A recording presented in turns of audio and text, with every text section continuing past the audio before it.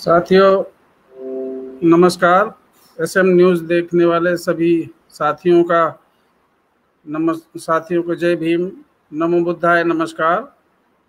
साथियों आ, हम जब भी चुनाव होता है तो बहुजन समाज पार्टी के संदर्भ में एक शब्द बहुत प्रचलित है सोशल इंजीनियरिंग।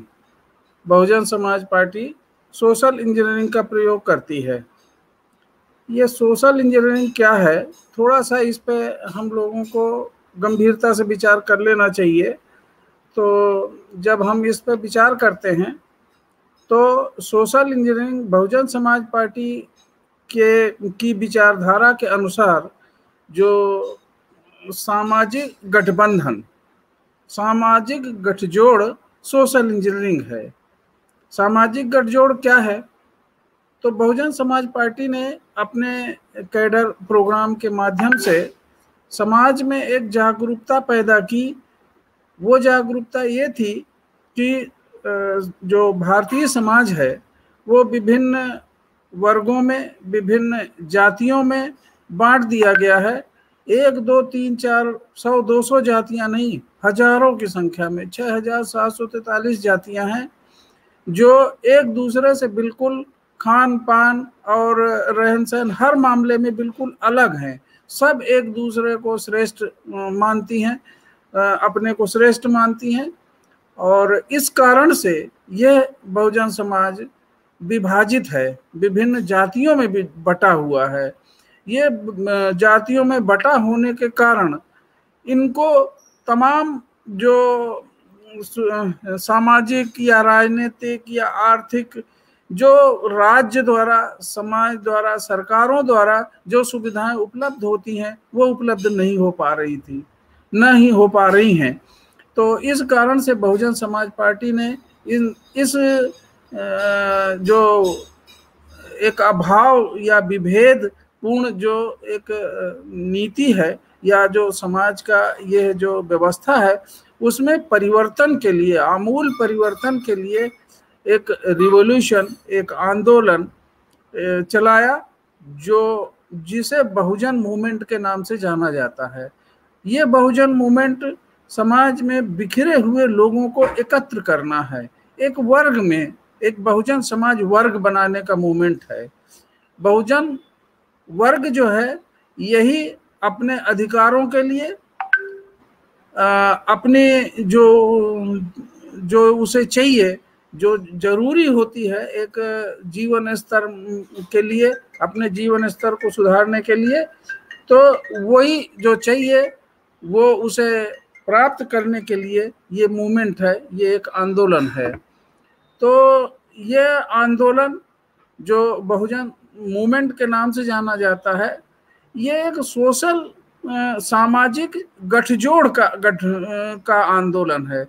जो विभिन्न जातियों में बटे हुए लोग हैं, उनको एक सूत्र में बांधना, एक सूत्र में लाना, उनमें राजनीतिक चेतना, उनमें सामाजिक चेतना पैदा करना, शिक्षा का प्रचार प्रसार, एक जागरूकता पैदा करना। जो बहुजन नायक बहुत हुए हैं हमारे, उन लोगों ने यही काम किया है। लोगों में चेतना पैदा करी है, लोगों में उनके अधिकारों के प्रति सजगता पैदा की है।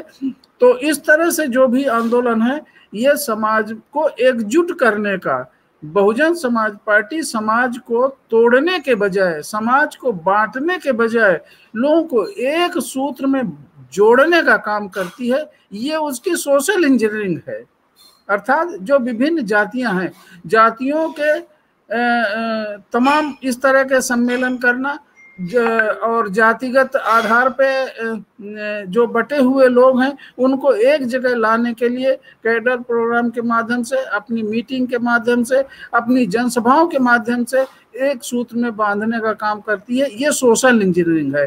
इस इन, सोशल इंजीनियरिंग के तहत बहुजन समाज पार्टी ने जहाँ शुरुआत की थी आज वो अपने वर्तमान में उसके दस मेंबर ऑफ़ पार्लियामेंट हैं उन्नीस लोग राज्य विधानसभा के सदस्य हैं, राज्यसभा के सदस्य हैं, एमएलसीज हैं और जगह जगह तमाम ऐसे अहदों पर लोग पहुँच गए हैं। और यही नहीं 2007 में बहुजन समाज पार्टी ने पूर्ण बहुमत की सरकार भी उत्तर प्रदेश में बनाई थी। इसी सोशल इंजीनियरिंग के तहत, अर्थात जातियों को एकजुट होने के लिए।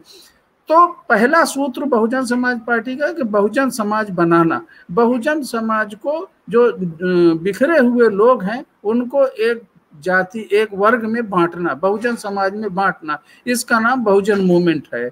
इसके साथ ही बहुजन समाज पार्टी को यह एहसास हुआ कि लोकतांत्रिक मर्यादाओं के अनुसार, भारतीय संविधान के अनुसार, एक कोई भी राष्ट्रीयकृत पार्टी अपना ये एक जाति के आधार पे कुछ जातियों के आधार पे अगर अपना मूवमेंट चलाती है अपना शासक बनती है तो वो सर्वथा गलत होगा। इसलिए सम, जो विभिन्न समाज के लोग हैं चाहे वो सवर्ण समाज के लोग हैं चाहे वो बहुजन समाज के लोग हैं सबको साथ लेके चलने की बात है। सबको साथ चलने के लिए जो उन्होंने मूवमेंट चलाया वो सर्वजन की बात कही। लोगों ने किस तरह से इस मूवमेंट को रोकने के लिए जो तमाम पार्टियाँ हैं, जो ब्राह्मणवादी दल हैं, वो इसको बदनाम करने के लिए कि बहुजन समाज पार्टी अपने नीतियों से भटक जाती है अवसरवादी है, वो अपने गठबंधन करती है और बात करती है अपने महानायकों की, बाबा साहब की या बहुजन मूवमेंट की और ब्राह्मणवादी दलों से समझौता करती है, उनके साथ सरकार बनाती है। तो साथियों, इसी बात को समझना बहुत ज़रूरी है। एक होता है सोशल गठबंधन और एक होता है पॉलिटिकल गठबंधन।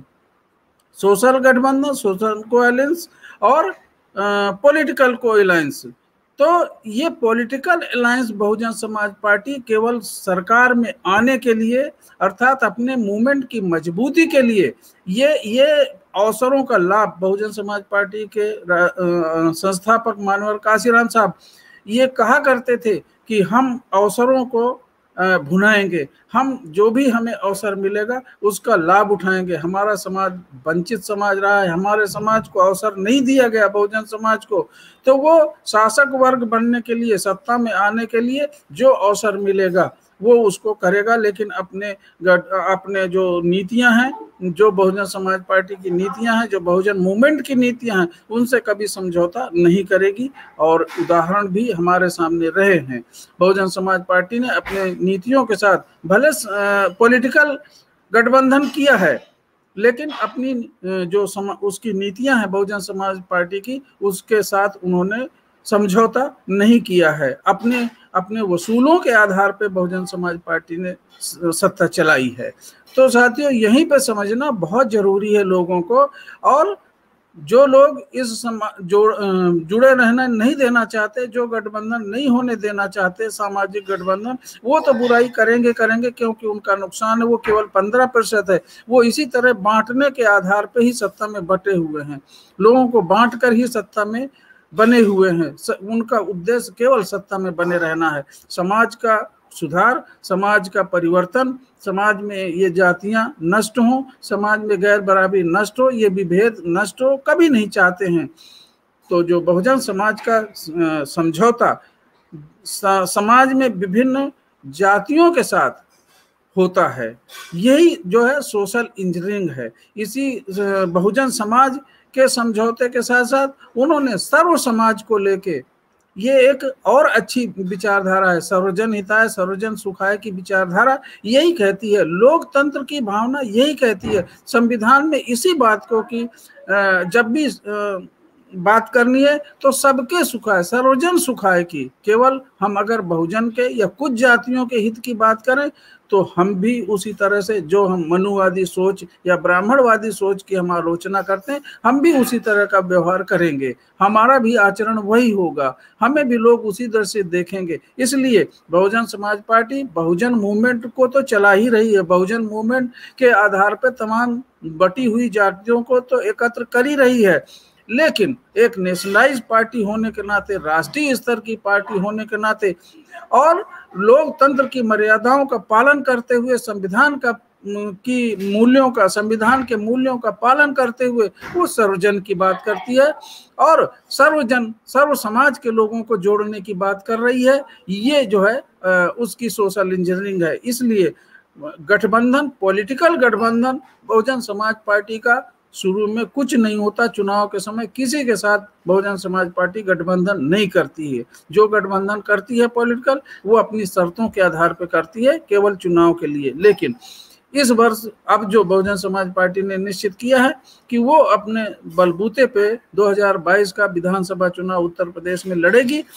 तो ये एक सोशल इंजीनियरिंग के तहत इसी भावना जो 2006 सात में जो चुनाव हुआ था, उसमें जिस तरह से बहुजन समाज पार्टी ने सामाजिक गठजोड़, समाज की विभिन्न जातियों को एक सूत्र में बाँध बाँध कर एक एक जगह एकत्र होकर और एक सामाजिक गठबंधन बनाने का जो प्रयास किया था, उसमें उसे सफलता मिली थी और आगे भी मिलने की उम्मीद है ये कि किसी जाति विशेष को शामिल करने से हमने अपने मूवमेंट को भुला दिया, हम अपने मूवमेंट से भटक गए। बहुजन समाज पार्टी की नेता बहन कुमारी मायावती जी अपने नेतृत्व से भटक गई।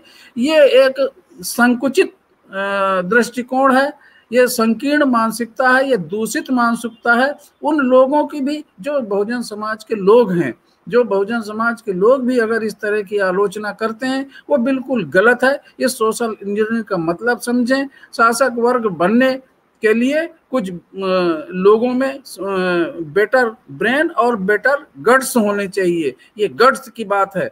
हम एक संविधानिक मूल्यों की स्थापना के लिए, लोकतंत्र की स्थापना के लिए हम लोग प्रतिबद्ध हैं। तो हम किसी के प्रति जिस तरह से लोगों ने वर्ग भेद या जाति भेद या और तमाम तरह के भेद पैदा किए, हम उससे दूर रहकर एक समाज में सौहार्दपूर्ण वातावरण बनाकर एक सामाजिक गठबंधन के तहत जो चुनाव लड़ना या सत्ता में आना या पावर की लड़ाई लड़ना, ये बहुजन समाज पार्टी का मूवमेंट है। ये है सोशल इंजीनियरिंग। इसे समझना बहुत ज़रूरी है और इसी के आधार पे सोच बनाना और किसी तरह की आलोचना या लोगों के कमेंट्स या तमाम बुद्धिजीवी लोग जिस तरह से कमेंट्स करते हैं बहुजन समाज पे पार्टी पे और बहुजन समाज पार्टी के नेता पे ये सर्वथा बिल्कुल गलत है। इसे लोगों को समझना चाहिए और बहुजन समाज को मज़बूत करने के लिए बहुजन समाज पार्टी को मज़बूत करने के लिए हर तरह से तन मन धन से सबको प्रयास करना चाहिए। धन्यवाद। सबको नमस्कार। जय भीम। नमो बुद्धाय। सत श्रीकाल आदाब।